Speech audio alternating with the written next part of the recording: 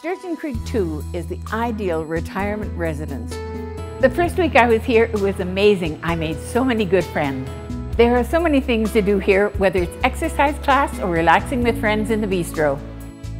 The meals here are wonderful and I just love the staff. One of the advantages of Sturgeon Creek 2 is there is a nurse on duty. I just love living here at Sturgeon Creek 2. I couldn't imagine living anywhere else. Call today to book a personal tour.